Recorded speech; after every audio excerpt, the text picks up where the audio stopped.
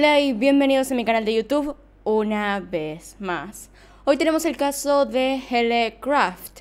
La razón por la cual traigo este caso hoy es más que nada porque acaba de salir algo muy nuevo y algo que la gente cree que es totalmente injusto, así que vamos a hablar de eso al final. Además, es un caso increíble. Es algo que realmente no podía entender una vez que lo leí. Por otro lado, para aquellos que se preguntan dónde está mi gata últimamente, descubrió un lugar muy cómodo dentro del placard al lado mío. Así que ahora mismo está en una nueva cucha adentro de un placard. Y como no la quiero molestar ni obligarla a estar en otro lugar, la dejo ahí. Realmente no tengo nada que decir con respecto al caso antes de comenzar, así que acá arriba en la i que está en pantalla, en alguna parte de la pantalla, están el resto de mis casos en una lista de reproducción por si quieren seguir viendo y si les gusta este contenido. Acá abajo tienen mis redes sociales por si quieren seguirme en alguna de ellas y comencemos con el video.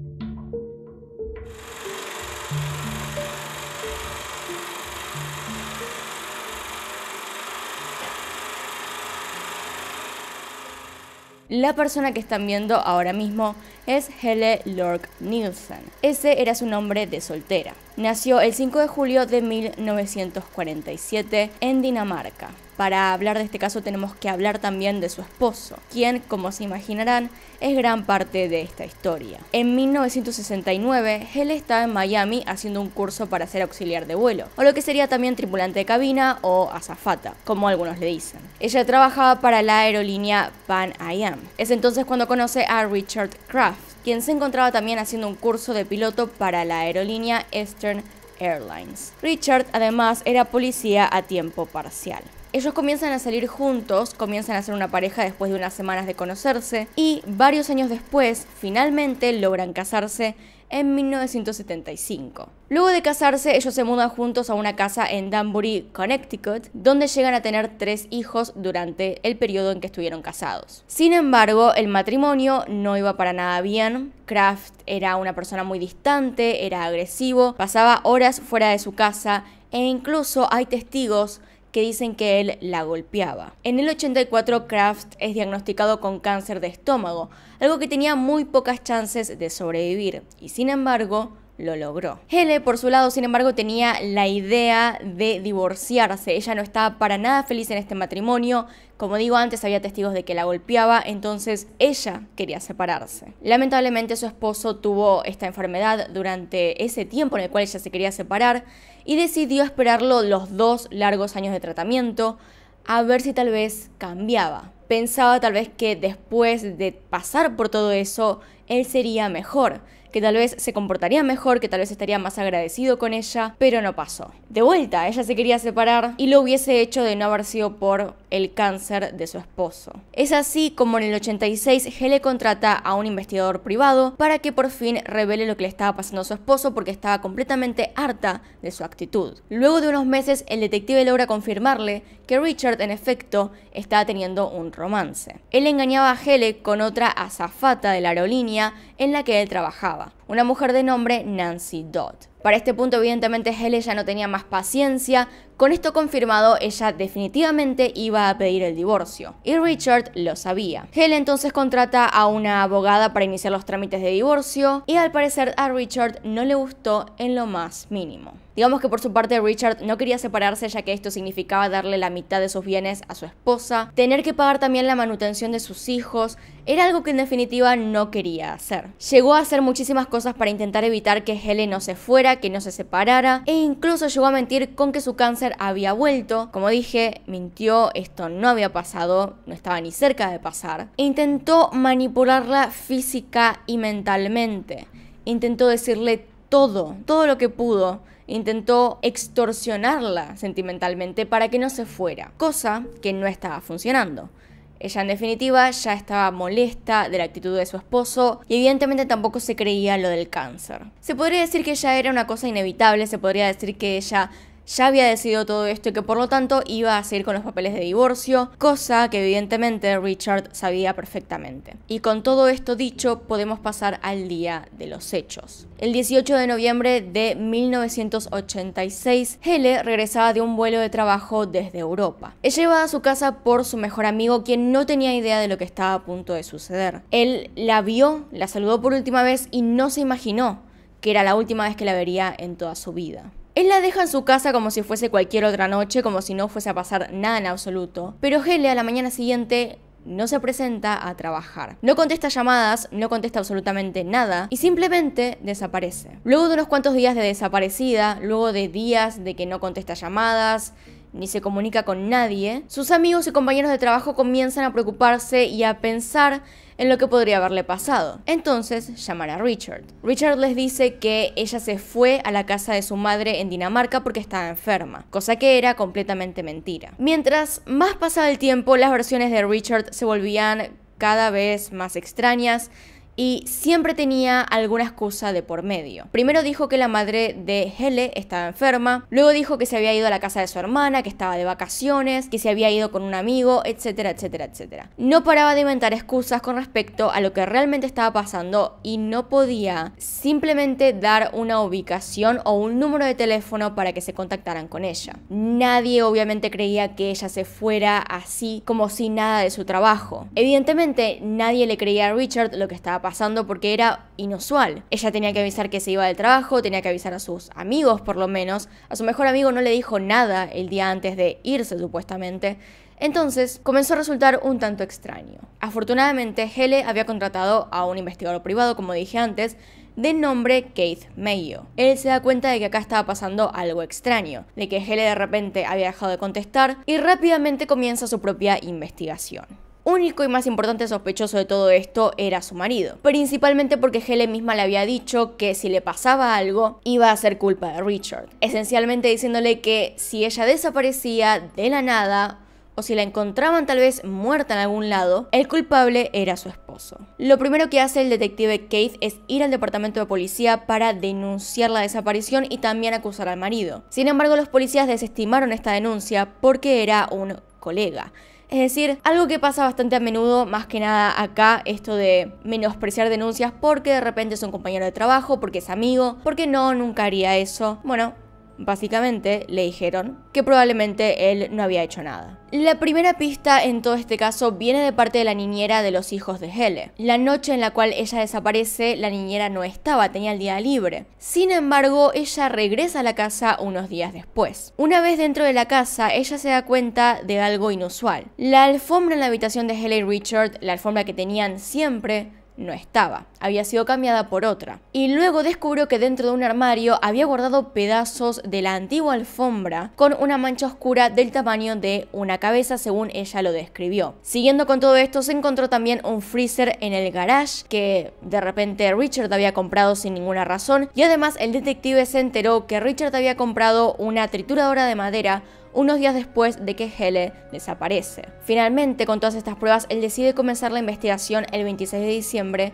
de ese mismo año, un mes después de que Hele desaparece. Con todas estas pruebas, la policía por fin decide comenzar la investigación por la desaparición de Hele el 26 de diciembre de ese mismo año, es decir, un mes después de la desaparición. Más allá de que se tomaron su buen tiempo para hacerlo, es menos que otros casos, lo cual no es bueno, pero al menos se dignaron a empezar hay policías que ni siquiera eso muchas veces, justamente por lo de que hay un compañero siendo acusado de algo, pero en esta ocasión al ver las pruebas se pusieron manos a la obra y comenzaron a investigar a fondo. Logran entonces allanar la casa y consiguen ese pedazo de alfombra que estaba manchado con una mancha oscura que terminó siendo sangre y Richard es detenido. Se le hace en ese entonces el test del polígrafo, el cual pasa. Él niega haber asesinado a su esposa y niega también saber dónde estaba ella, pero también deben recordar que ese test no dice la verdad en lo más mínimo. Se puede pasar fácilmente si una persona está confiada en lo que está diciendo, así que no probaba nada que él dijera que no sabía dónde estaba su esposa. Aún así, lamentablemente, esas pruebas que se tenían no eran suficientes como para decir que él había matado a Hele. Más que nada, recordemos que esto fue hace varios años y por lo tanto no tenían la tecnología que tenemos hoy. Sin embargo,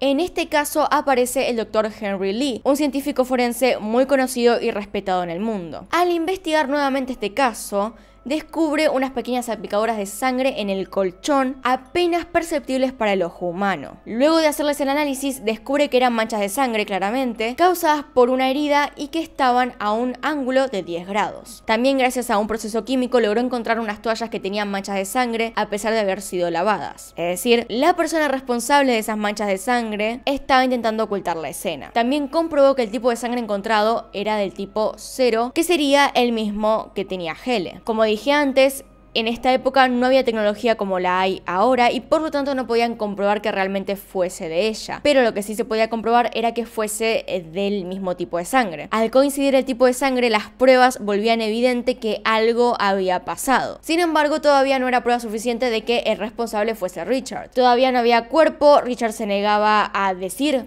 alguna cosa sobre su esposa, se negaba a decir incluso qué había pasado antes de que desapareciera, no daba detalles con respecto a lo que había sucedido, así que no se podía probar nada. Además, como dije antes, él pasó la prueba del polígrafo y por lo tanto no había por dónde acusarlo. Y es entonces cuando aparece un testigo clave, Joseph Hine, un hombre del pueblo quien trabajaba con una camioneta quitanieves. El día de la desaparición, mientras él limpiaba la carretera de la nieve, había visto alrededor de las 3 y media de la mañana una trituradora de madera junto a un hombre que vestía un piloto anaranjado. Esto era al costado de la ruta cerca del lago Soar. Y una hora después la misma trituradora estaba a la orilla del lago. Con este nuevo testigo, la investigación es llevada al lago Soar para examinar el lugar donde se había visto la trituradora. Es en este lugar donde se empiezan a encontrar distintas cosas. Primero que nada, un poco de madera triturada, más que nada eso en realidad pedazos de madera, y de repente se encuentran con un sobre que le pertenecía a Hele. Continuando con la búsqueda se logran encontrar cabellos rubios,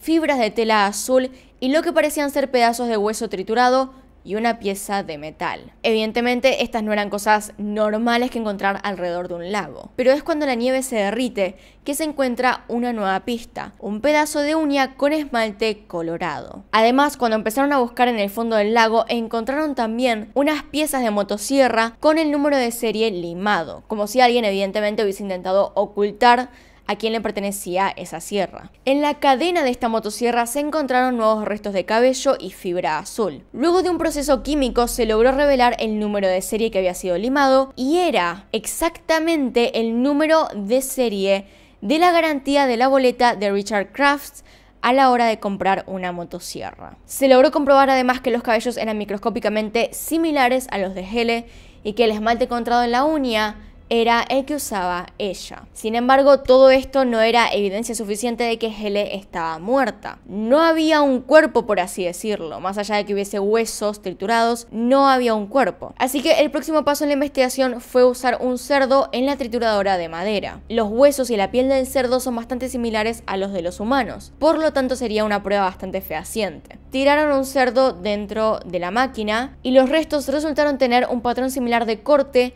con los restos encontrados en el lago. Además de encontrar patrones similares, también se encontraron huesos que pertenecían a un cráneo humano. Es entonces que se puede confirmar que estos restos hayan pasado por una trituradora y que entonces eran restos de un cadáver. Pero todavía faltaba probar una última cosa, que era que fueran los restos de Hele. Entonces se concentraron en la pieza de metal que habían encontrado. Esto podría ser un implante de muela, cosa que sería bastante importante si así fuera. El tema es que investigándola se encontró que no tenía restos humanos y por lo tanto no servía como evidencia. Fueron nuevamente al lago y estuvieron buscando durante bastante tiempo, durante varios días, hasta que por fin encontraron un diente. Esto sí, en definitiva sería una pieza clave. Los dientes son piezas claves. El diente resultó coincidir con los registros médicos dentales de Hele. Finalmente, todas las pruebas estaban reunidas, finalmente se podía probar que no solo era un cadáver, sino que aparte había sido triturado en la trituradora de madera y además eran los restos de Hele Crafts. Y es entonces cuando por fin se puede hacer la estimación de lo que realmente pasó esa noche de la desaparición. Suponemos entonces que a Hele la deja su mejor amigo en la puerta de la casa y ella entra. Esto pasaba la noche del 18 de noviembre. Luego de dar las buenas noches a sus hijos, se dirige a su habitación y se prepara para ir a dormir, como cualquier otra noche. Dentro de la habitación esperándola está su esposo. Comienzan a discutir y en un momento Richard golpea en la cabeza a Hele, la cual primero golpea contra el colchón y después cae al piso. Richard recoge el cuerpo, lo envuelve en sábanas y lo guarda en el freezer manchando también la alfombra, la cual después corta y guarda. A la mañana siguiente levanta a sus hijos y los envía con su tía. Alquila una trituradora de madera y un camión de mudanza. A la madrugada finalmente se dirige hacia el lago con el cuerpo y una motosierra. Desmiembra el cuerpo con la motosierra y lo lanza a la trituradora junto con pedazos de madera, apuntando hacia el lago. Con todo esto que acabo de decir y con la suposición de que esta era la verdadera historia, se dirigen entonces hacia el juicio. El primer juicio que tiene Richard pasa en el 87. En este, él aún sostenía que era inocente. En el juicio, 11 de 12 jurados votaron que él era culpable. Sin embargo, uno de ellos dijo unas palabras antes de irse y se retiró del juicio. Lo que dijo fue lo siguiente. Una mujer enferma de intentar cambiar a un hombre podría simplemente haberse ido. Yo creo que Hellecraft todavía puede estar con vida. Vamos a saltearnos toda la parte psicológica. Si hay algún psicólogo o alguna persona que quiere responder justamente a lo que está diciendo este hombre, puede hacerlo abajo en los comentarios. Yo no lo pienso hacer en este momento, pero esa lógica está bastante mal. Igualmente Hele incluso quería irse, o sea, ella quería irse del matrimonio, quería terminar y estaba preparando los papeles de divorcio, se quería quedar con sus hijos, así que realmente no tendría una razón para irse en ese momento y no creo bajo ningún punto de vista, que una persona que considera todo esto pueda pensar que ella siguiese viva. Pero bueno, más allá de todo eso, dos años después, se formó un nuevo jurado y lo encontraron culpable del homicidio de su esposa. En ese entonces es condenado a 50 años de prisión. De hecho, este fue el primer caso en Connecticut en el cual se sentenció a una persona por homicidio sin tener el cuerpo. Sin embargo, era más que evidente que ese cuerpo que estaba en el lago era el cuerpo de Hele. Coincidía absolutamente todo, incluso con la poca tecnología que se tenía en ese momento, entonces es difícil de contradecir, es así de simple. 30 años después, Richard, ya teniendo 81 años, fue elegido apto para la libertad condicional debido a su edad principalmente y a su buena conducta, a pesar de haber triturado a su esposa y haberlo planeado tan fríamente, porque era un plan muy bueno si nadie lo descubría. A ver, se lo pensó muy bien. A pesar de eso, lo dejaron libre. Realmente en este punto, ya teniendo él 81 años, no hay nadie que realmente se encargue de evitar que él salga de la cárcel. Nadie más está pidiendo justicia. Todas las personas que conocían a Hele o que eran familiares de ella ya están muertos o muy distanciados y realmente no se enfocaron en pedir que él no saliera, así que le consiguieron la libertad condicional. Esto fue justamente la parte reciente, él acaba de salir de la cárcel y esto llamó muchísimo la atención. Y díganme qué piensan ustedes, ¿dejarían libre a una persona así? O sea, de vuelta, tiene 81 años, no es como si de repente fuese a tener el vigor como para hacer algo así nuevamente. No creo que de repente con 81 años pueda siquiera mover un cuerpo. Tal vez no vuelva a ocurrir nada más, tal vez no vuelva a tener relaciones sentimentales, tal vez no le haga daño a nadie más, pero sinceramente no sé qué pensar. Así que díganmelo ustedes abajo en los comentarios, los voy a estar leyendo. También díganme si realmente creen que él es culpable o no. A ver, todo apunta a que sí, no hubo otros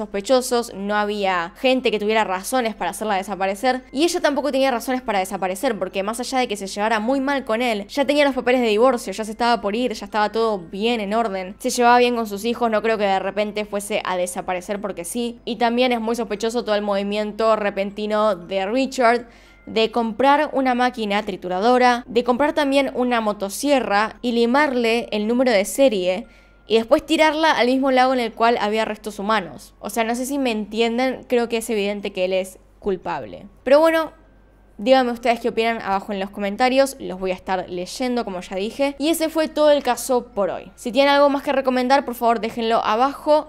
Y si tienen algún artículo que quieren que lea, alguna cosa específica, larga, algún sitio web, mándenmelo abajo al mail que está en la descripción, porque cada tanto me pongo a leer todos juntos, no los leo todo el tiempo porque cada hora me llega un mail, entonces no se puede, pero cada tanto me siento y los leo todos juntos, así que no se preocupen que yo los leo. De hecho, varias ideas de casos han salido de mails. Y también me encanta cuando me dan justamente posteos, blogs, tal vez alguna noticia. Es interesante, me resulta muy interesante. Así que si quieren, mándenme a ese mail. Así que bueno, acá al costado están mis Patreons. Si quieren saber más al respecto, abajo hay un link en la descripción a esa página. Los Patreons normalmente tienen de recompensa que les llegue el video antes que a YouTube. En YouTube, como algunos ya saben, yo tengo que esperar a que me revisen el video y por lo tanto Es una cosa de que no puedo simplemente sacarlo apenas está subido a la página, tengo que esperar y después lo programo, así que evidentemente los Patreons que no tiene propagandas, digamos, la página, lo reciben antes, lo tienen ahí directamente ya cargado, así que lo pueden ver antes. Pero bueno, no tengo nada más que decir. Así que acá se termina el video. Acá tienen un video nuevo, acá tienen un video recomendado, se pueden suscribir haciendo clic en mi cara y nos vemos en otro video. Adiós.